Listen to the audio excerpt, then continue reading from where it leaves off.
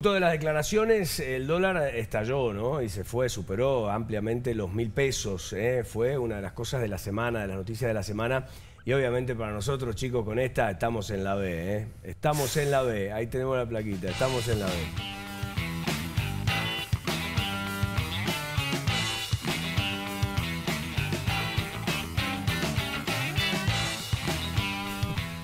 Mira que te como, ¿eh? Mira que ahí lo tenemos el Diego Martínez con la cabeza de un dólar ¿eh? y este, el billetito de mil pesos que ya, bueno, no lo puede alcanzar tampoco el billete de mil pesos, te digo, ¿eh? porque, porque ya lo pasó directamente. Bueno, hemos tenido una afluencia de chilenos porque para ellos mil dólares eh, mil pesos chilenos, mil pesos argentinos. es una cosa. Este, con cuatro dólares se, comen un bife de chorizo con, con papa frita, una locura, Eso no existe en ningún lugar del mundo. Están los chilenos como locos, nos están dejando sin vacas directamente. Arrasando los mayoristas. ¿no? Y vienen uruguayos, este, también cantidad de uruguayos en Mendoza, es muy impresionante la cantidad de y la inflación brasileños. la inflación en Chile está en el 5%, la de Uruguay 3,5%, Paraguay 3%.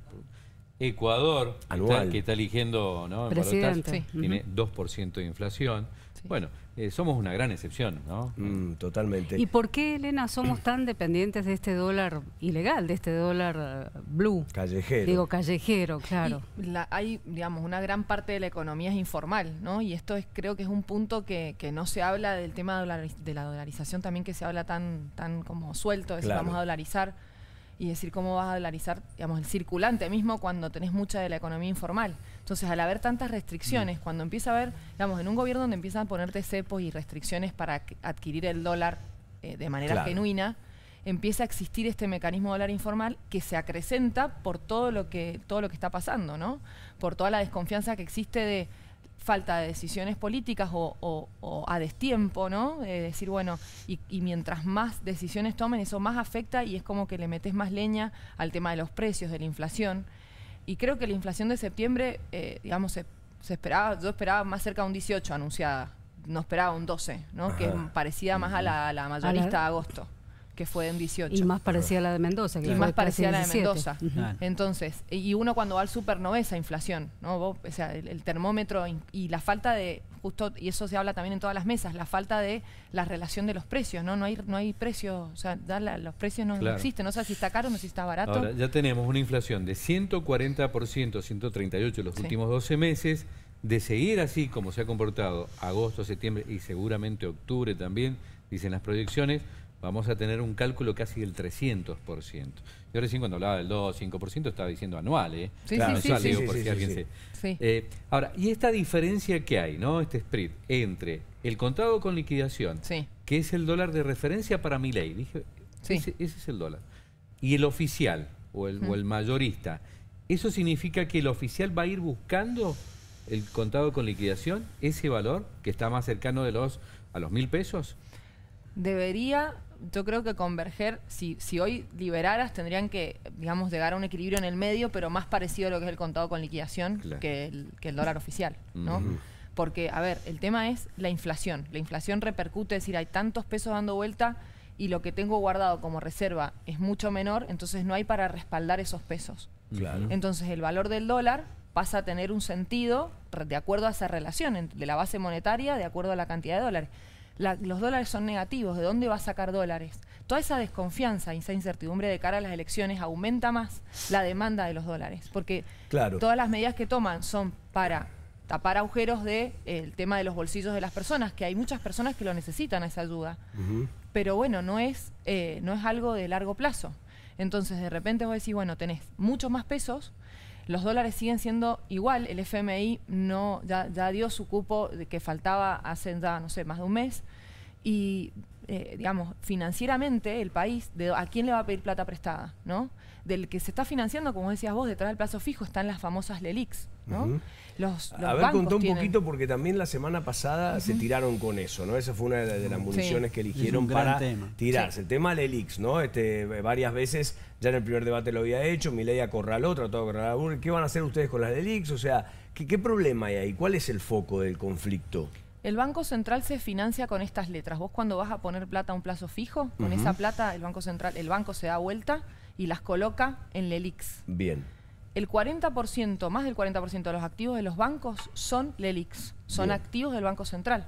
Entonces, que son letras argentinas. Sí, cuando vos estás poniendo que solamente la pueden adquirir los bancos, las LELIX, yo no puedo comprar No puedo comprar yo, claro. Puedo comprar, eh, digamos, LECAPS, o, sea, LECER o LEDES, no puedo comprar. Otras letras, eh, claro.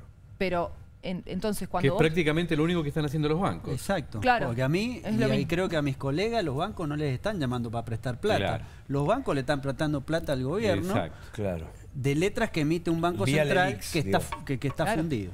Entonces, que Voy a, volver a, la, pregunta de Karina. que Karina pregunta, ¿por qué somos tan dependientes del dólar informal, de esos indicadores? Por las expectativas. Porque es lo, que, es lo que cristaliza la buena o la mala expectativa que uno puede tener del gobernante. Hasta que los gobernantes, hasta que el líder del que administra la cosa pública no se dé cuenta de que administra expectativas y que tiene que generar expectativas de responsabilidad, de, tener nitidez eh, hacia dónde vamos como país, de tener una agenda que todos comprendamos, que podemos discutir hacia un borde o hacia otro, pero con cierta razonabilidad, las expectativas se van a canalizar. Ahora, hoy no hay expectativa porque no hay agenda. Hoy eh, empezamos con el pez izquierdo, hace cuatro años el presidente dijo no, no creo en los programas y no creo en los planes. Bueno, eh, está claro que los planes hoy en este mundo moderno se, se van acomodando en el día a día, pero vos tenés que trazar un horizonte, porque vos tenés que generar expectativas para lo que dice muy bien Elena, dice, bueno, vamos a converger en el futuro. Eso te quiere decir que hay un sector que compra dólar futuro, que está comprando a un año, que ya sabe que el dólar va a costar, bueno, 800. Bueno, el dólar futuro de octubre y noviembre, ¿no? Uno pues una operación financiera está 300 pesos más bajo que el dólar de diciembre, o sea, está intervenido también, ¿no? Están los dólares futuros están intervenidos y después cuando después de diciembre es como pasó en el 2015 que se vendía un precio porque hay bastante, digamos, igual que en el dólar MEP. El dólar MEP tenés 120 pesos de diferencia con el contado con líquido. Claro, se han alejado, ¿no? Y tenés dos bonos diferentes donde está intervenido no, entonces bueno, hay mucha eh, eh, digamos intervención estatal en los mercados de capitales en el mismo sistema financiero. Entonces, cuando uno, lo que vos decías recién es, la, cuando la tasa es muy alta de los plazos fijos, eh, en realidad el riesgo, cuando en una inversión, sacando que es un plazo fijo o una inversión privada, cuando la, tasa de interés es muy alto, el riesgo asociado que está detrás de ese activo, de esa alternativa es alto. Entonces eso es algo que uno tiene que pensar. Cuando me ofrecen una tasa alta de interés, igual que cuando compro, no sé, los famosos bonos AL30, hay muchas personas que estaban accediendo a este título. Los bonos argentinos hoy tienen una tasa de rentabilidad de más del 40% en dólares, para que ustedes se den Es una, es una locura. Entonces, cuando ven esa tasa, la gente compra.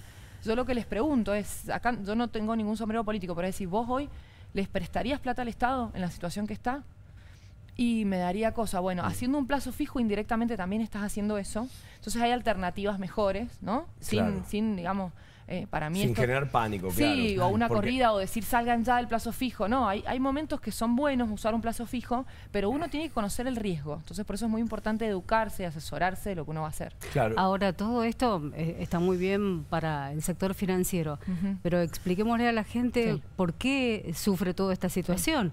Porque hay mucha gente que no está comprando dólar blue, hay mucha gente que no, que no puede ahorrar. Que, no puede ahorrar, que no, muchísima gente que no llega a fin de mes. ¿Y por qué tenemos una inflación acá en Mendoza de casi el 17%.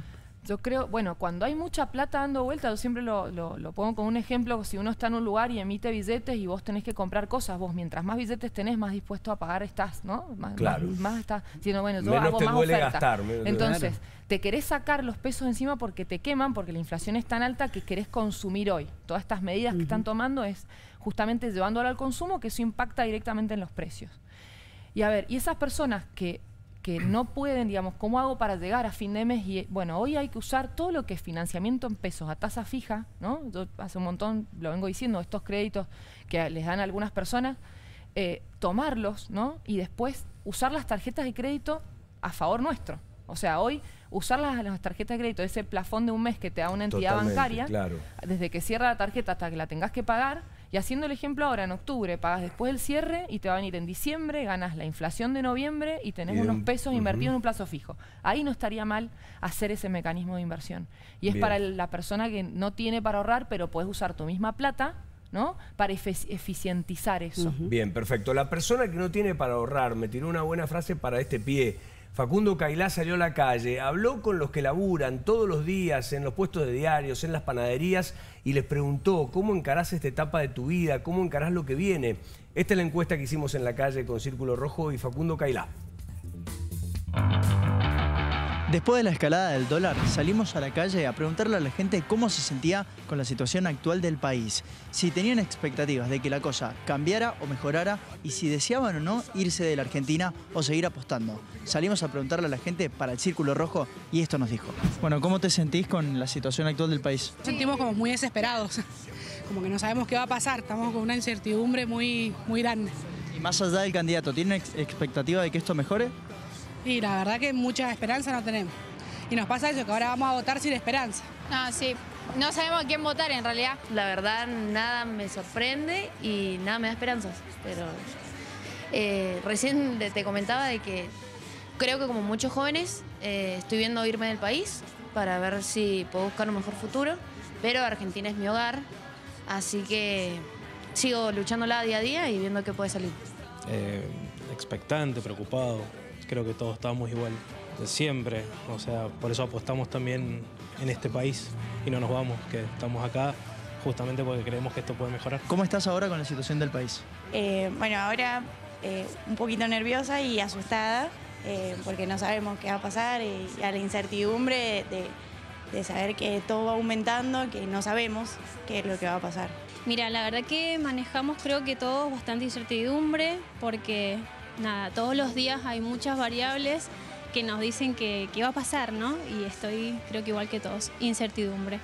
No sé si decirle bien o decirle mal. ¿Tienes expectativa de que la cosa cambie? Eh, no lo creo. No sé, a lo mejor soy muy pesimista, pero no creo.